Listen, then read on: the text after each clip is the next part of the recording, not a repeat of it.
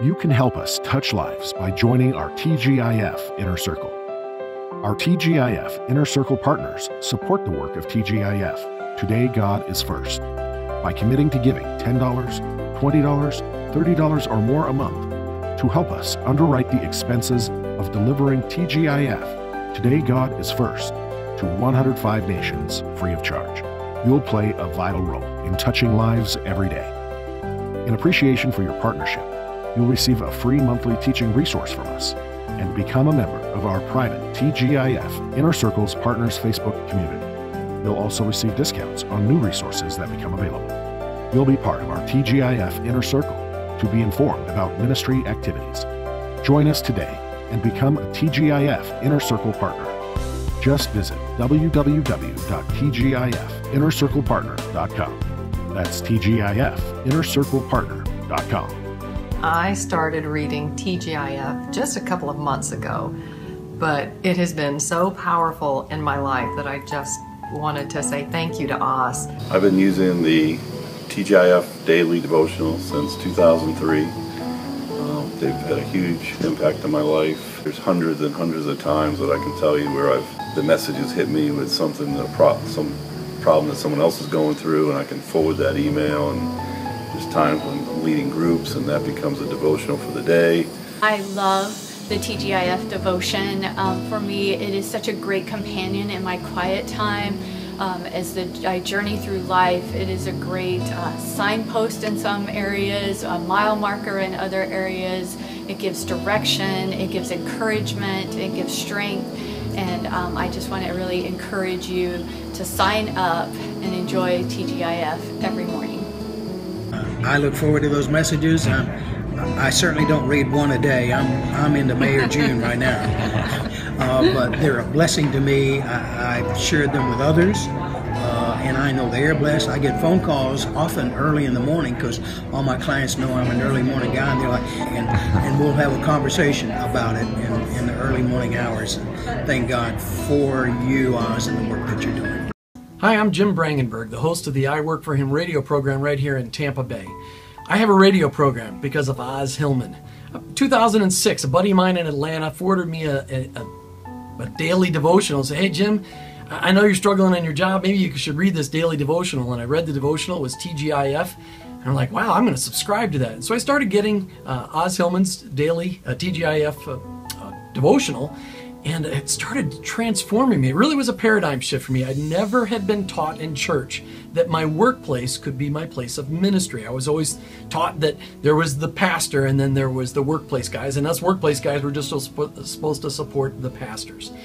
And so in 2008, as uh, the economy started to crash, and I had had this basis of the workplace ministry because I've been getting these daily devotionals, I started sharing those with my bosses. I had four bosses at the time, and as the world got bad and my bosses started losing millions of dollars, they started being open and open to the message of Christ. And I happened to be on a plane trip with one of my uh, bosses, and I'd shared one of the devotionals from Os Hillman, and we got in this deep conversation about her having a problem not with God but with Jesus. And we had this incredible conversation. And then after uh, landing our plane uh, in uh, Moline, Illinois, we headed off to a meeting we had in Iowa City, and we almost died in a car wreck. And as we're on the shoulder, I looked at my boss and I said, You know, if we'd have died in that car wreck, I'd have been okay with that because I know where I'm going. But I believe we're alive today because you would have gone to hell. And, and because of the basis of sharing those daily devotionals, the TGIF devotionals, that woman came to Christ a couple of months later uh, because God had gotten her attention and used TGIF on a daily basis, and it transformed the lives of my boss and another coworker. And today, it's transforming the lives of, of hundreds of thousands of people across the country. But I'm on the radio today because of that paradigm shift that I recognize that my workplace is my mission field. Hey guys, thanks for letting me come to you on this video. I hope that this year has been a good year for you. It's been a tough year for a lot of people. I, I, I can't think of another year where we've had so much dramatic change uh, with COVID and you know, crime in America and uh, socialist agenda uh, right in our face. You know, it's uh, it's been a tough year, but but God, you know, that's the only thing we can look to is God's grace in our life. and what He has planned for us. And you know, it, it takes uh, we, the people of God, to make a stand in this nation. And uh, I hope that that's the attitude that you're going to have in this coming year. The truth is that there's only one thing that's going to change our nation, and that is changed hearts. And uh, I know that uh, you would agree with me that TGIF is one of the tools that God is using to change hearts. And uh, I really appreciate your partnership and allowing us to send TGIF to uh, people all over the world, in fact, 105 countries uh, at this stage of the game. But in order to keep doing that, we need partners like yourself. So I appreciate your partnership both in prayer and financial support. So if you have an opportunity to sow into us here at the year end, uh, that would be a really great uh, help to us.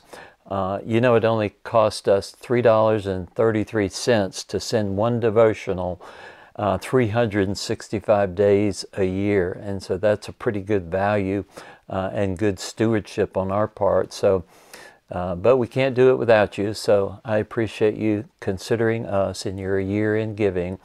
And let's see if we can't begin to shift this nation back to uh, the great nation that it is, that God is still not finished with us. And so let's look to t- 2022 with a year for revival and a change of heart in our country. God bless, and I hope that you have a great new year and a great 2022. Take care.